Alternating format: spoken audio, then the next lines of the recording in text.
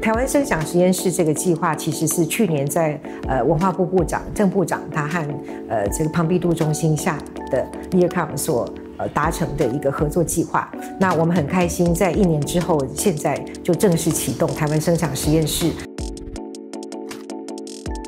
呃，Earcom 是呃国际上呃非常重要的一个结合声响科技啊跟呃声响艺术的一个重要的文化机构。那我们希望透过双方彼此研究的交流、人才的交流啊，以及共创或共制的节目，那也期待未来能够共同合作，在 C Lab 啊设设立啊台湾 Sound Lab 台湾声响实验室。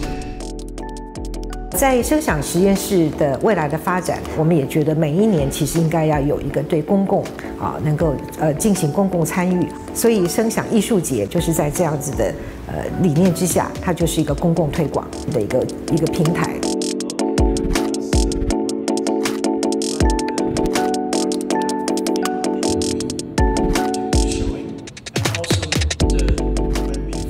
今年的声响艺术节，我们也呈现了好几个我们自己的创作，都是从声音出发，但是并不限只在声音上面，而是就是以声音为基础，但同时去扩展出它的其他的可能性。阿夸 A 啊，结合了人工智慧，在一个平板上面呢，它可以用它的手指头去画生物呢，城市它就会去用 AR 的方式在空间活起来。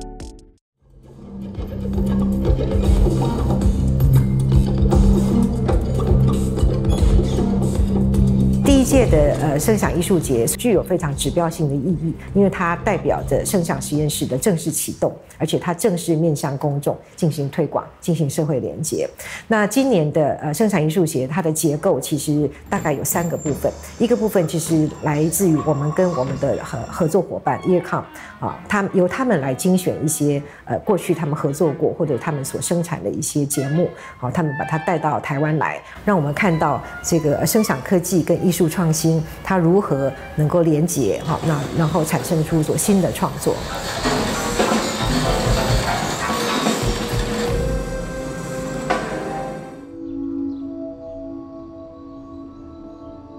那第二个部分其实是我们在地的制作哈，那在地的制作这里面也牵涉到不只是 C Lab 本身的声响实验室，而且还有我们跟跨机构的合作，例如我们和国家电影中心的合作等等。那这些呃跨机构的合作，还有跨领域的协作，也是未来不只是 C Lab，也是呃这个声响实验室未来发展的方向。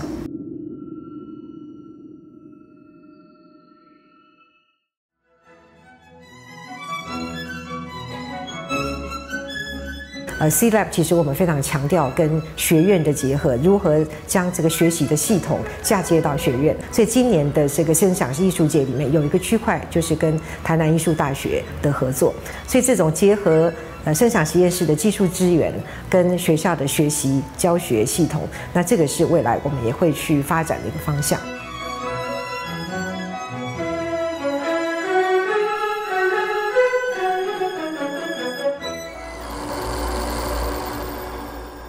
跨中心啊，或者跨领域的协作哈，这个是 C Lab 的一个本质。所以在跨领域中牵涉到不同的学科、不同的知识，好的互相学习，好互相补位。那这个的确就是呃，未来在文化实验场里面非常重要的一个工作方法。